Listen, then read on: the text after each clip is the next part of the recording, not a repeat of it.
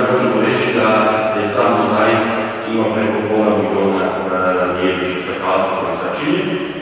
I prvo periodu su tih 108 mi vama smetamo ovdje.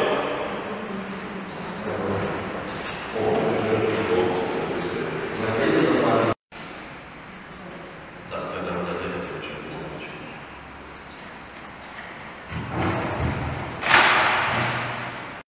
Nalazimo se pred e, najvećim mozaikom u Hrvatskoj, rad akademskog slikara Josipa Boterija Dinija, zanimljivo rođenog Zagrebčanina koji živi i radi u Splitu. I upravo ovdje u Karlovcu, u središtu Hrvatske, gdje častimo svetog Josipa zaštnika Hrvatske, pronalazimo i najveći mozaik u Hrvatskoj. Jedan od rijetkih prikaza rođenja Isusa Krista na crkvenim glavnim oltarima. Dobrodošli, pogledajte.